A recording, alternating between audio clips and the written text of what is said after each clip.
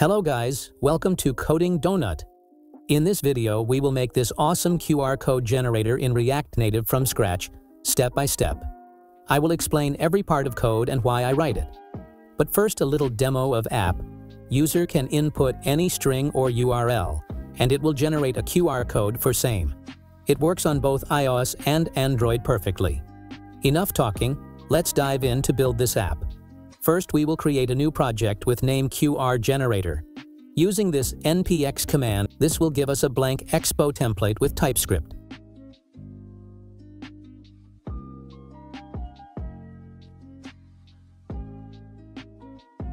Then we will run app using npx expo start command. Press I to open app in iOS simulator. Next, we will start building our app. We will start with background first. We will use a safe area view and give it a style container.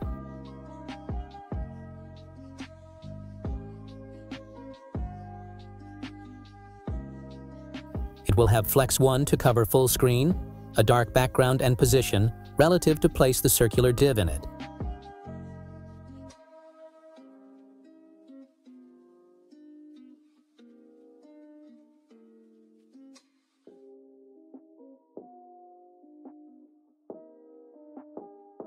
Next, we will create two views for these circular divs and give them Style View 1 and View 2.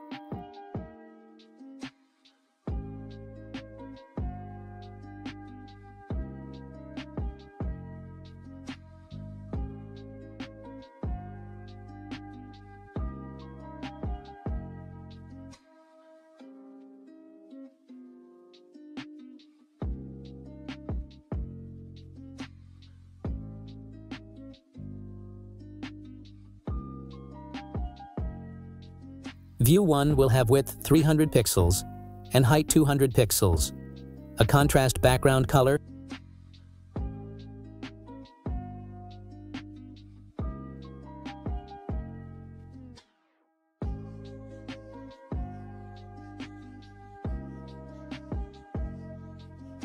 top 0, right 0,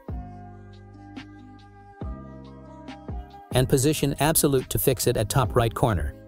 It will have bottom left border radius as 100% to make it circular at bottom corner.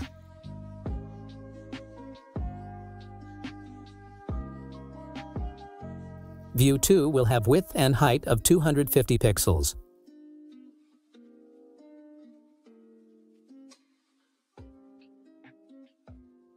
Same background as View 1 and position absolute.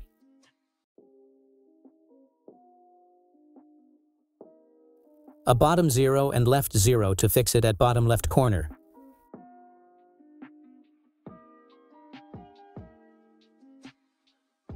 And it will have top right border radius as 100% to make it circular at top right corner.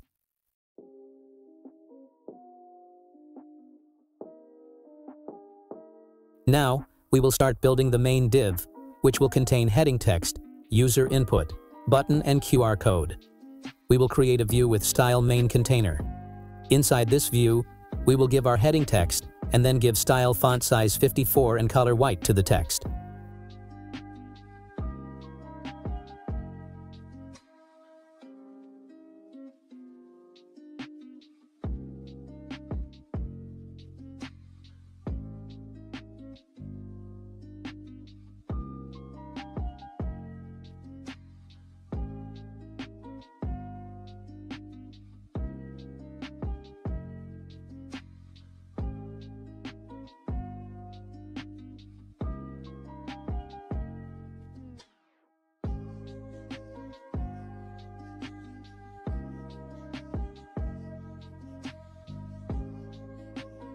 We will give some padding to the main container.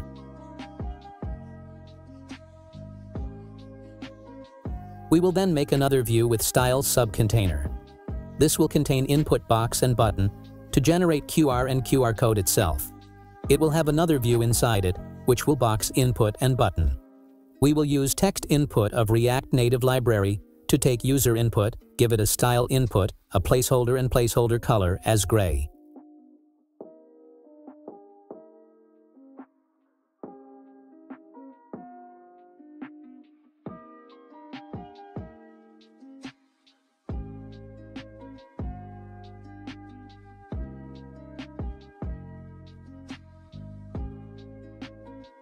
Next, we will use touchable opacity for button. Give it a style button.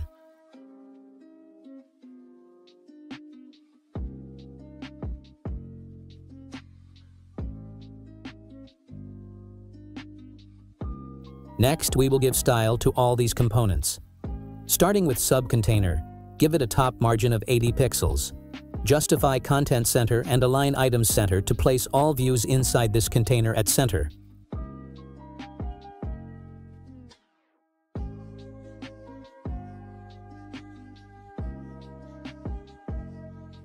Give background color to input, some padding, text color white, and flex 1 to cover entire width.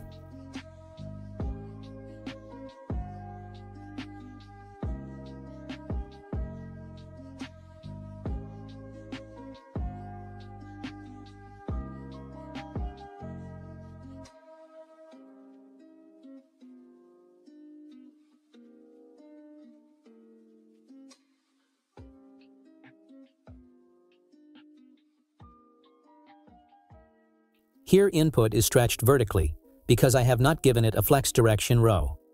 It takes a flex direction column by default. It will be corrected in few minutes. But first, let's give some styling to button also.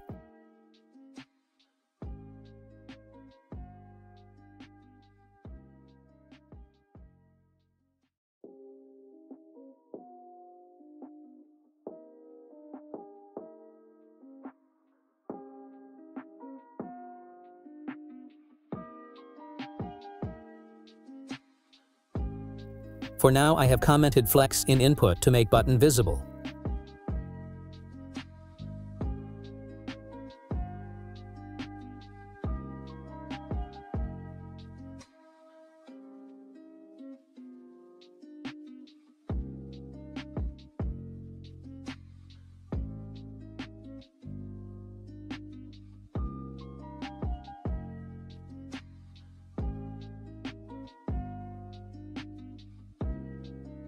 Now, as soon as I give flex direction row to parent div of input, both input and button will be arranged side by side. And now if I give input flex 1, it will cover whole width available.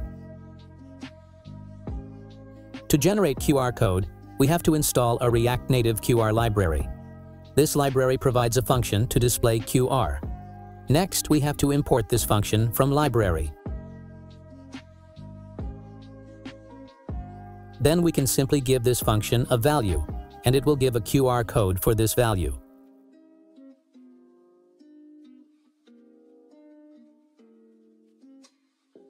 Now we have generated a QR code successfully. We will give it some styling to make it look a little better and cleaner.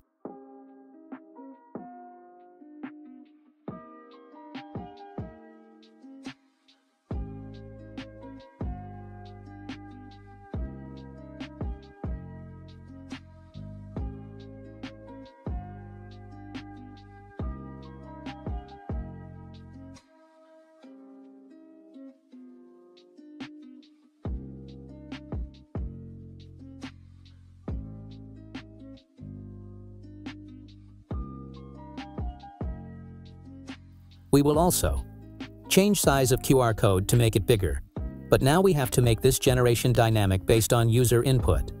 For that, we will create two states. First, a URL state which will contain user input.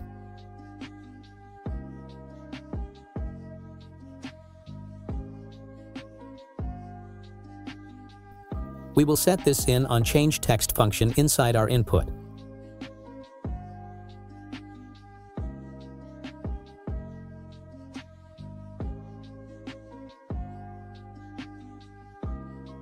Next, we will create another state name is QR generated to keep track if QR is generated by user or not. This will be false initially.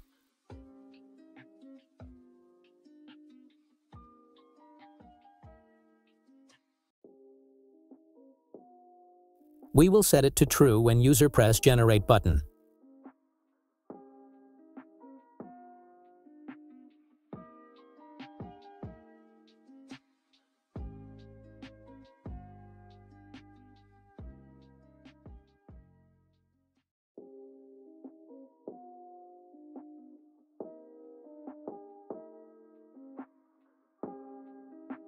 Here we got an error because value passed to QR function cannot be empty.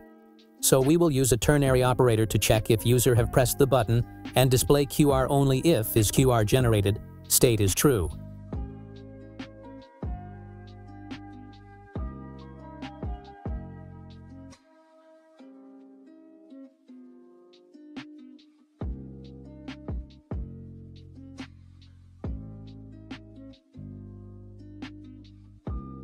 If QR is not generated, we will display a placeholder in its place.